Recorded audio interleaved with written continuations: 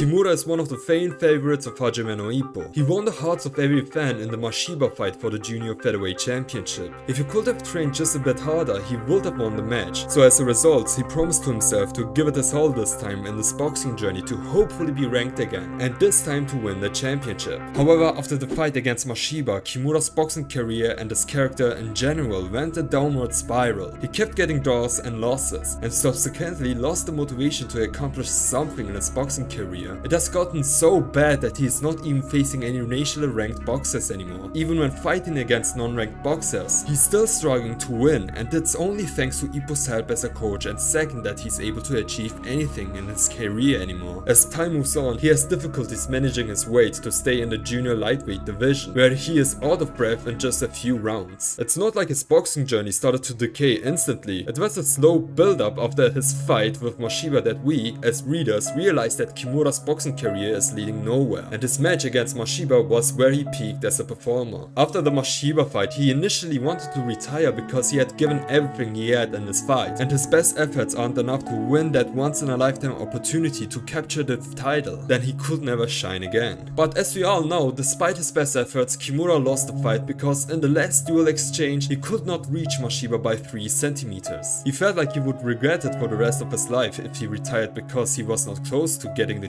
championship. So he returned to boxing with the promise to rise again and this time to finally win the junior lightweight championship. However, things started out rough for him when his comeback match was won by unanimous decision where he could have lost if it were not for the homegrown advantage. Later, he had this infamous fight against the Philippine junior lightweight champion Electric Battery, which was a match made just for Morikawa to have a big laugh while writing it. It ended in a draw and as a punishment Kimura had to buzz a lightning bolt into his hair, which would not be the last time that he cut off his hair because of a boxing match. We will get to that. And if you thought that having a joke match for Kimura was funny, then hold on. His next match was another comedic bout against Electric Battery, ending once again in a draw. But things started to look up when he faced another foreign boxer securing a KO win shown in just a single panel. He wanted to maintain this momentum in his next match against another foreign boxer and was close to winning it. However, due to an accidental headbutt, the match was called off and the foreign boxer won by decision midway through the match. You might be wondering why I only mention Kimura's matches and not his development outside the ring and what he wants to accomplish in his boxing career. Well, the answer is that Kimura never had a character arc or any kind of development after the match with Mashiba. The characters with the main focus of the story at the time were Ippo, Takamura and Itagaki, who further advanced their boxing legacies and their own character arcs. Meanwhile, characters like Aoki and Kimura were relegated to the role of comedic relief, always getting the short end of the stick. They were practically just side characters with no apparent use. But it all changed when the Kamogawa boys entered the A-class tournament, aiming to win the competition and challenge the champion in their respective division. Itagaki defeated opponents that Ippo faced during his career such as Karasawa and Saeki, ultimately showcasing his unlimited potential by winning the tournament. Now as for Kimura,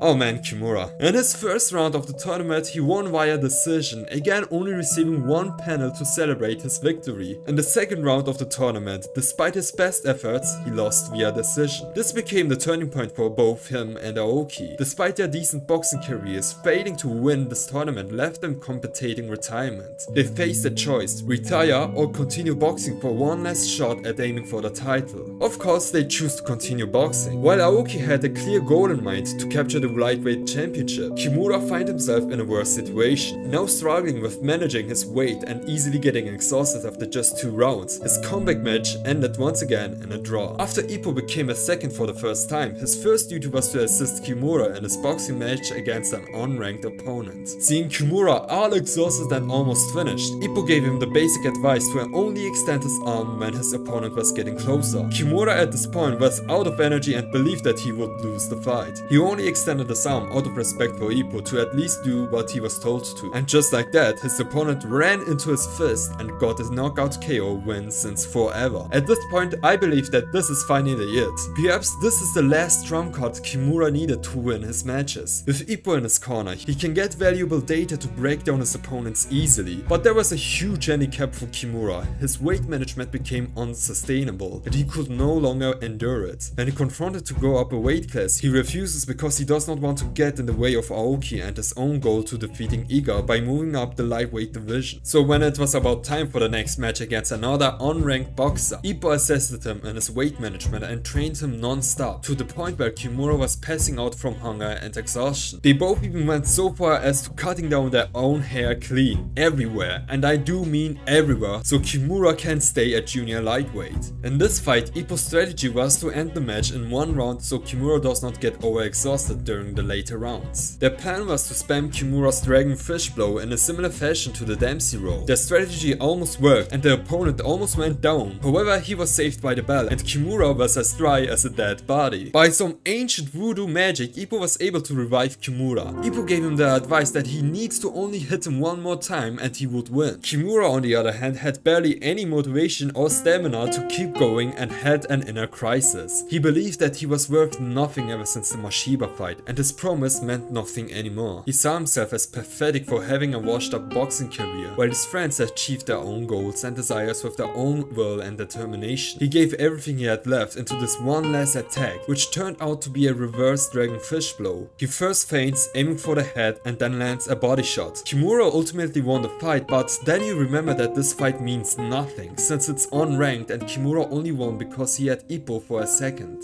After this match, Kimura could no longer grow his hair in a healthy way due to his unhealthy diet and lack of nutrition, so you know that Morikawa will find ways to make fun of it. And that's been the theme of Kimura's entire character ever since the Mashiba fight. His matches only consist of joke matches, decision wins that are usually shown in one panel or losses. And when his fights are given more attention in the narrative, the focus of the fight is not on him but on the other characters like Ippo as a second or Aoki for his own character development. This just makes me really sad just seeing Kimura like this.